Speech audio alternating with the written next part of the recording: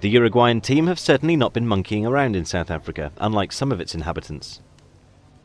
Oscar Tabarez's side have defied the odds to reach a third place playoff against the much fancied Germans, after finally being stopped in their tracks by the Netherlands. Saturday's match should see the reunion of the South Americans' first choice attack, with Luis Suarez eligible to play after serving his suspension in the 3 1 defeat to the Dutch. Uruguay's coach sounded confident about his team's chances going into the penultimate game of the tournament.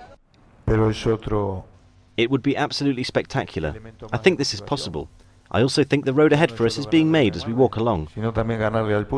If his side can triumph against Joachim Löw's men, Uruguay will claim their highest finish at a World Cup since 1950, when they won the tournament.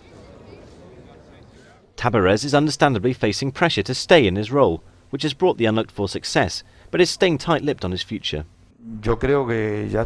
I know how things go and I know what I want, but you can only talk about these things if and when an offer comes. With Diego Forlan and Miroslav Klose vying for the Golden Boot in South Africa, the third place playoff in Port Elizabeth may prove just as much of a spectacle as the final a day later.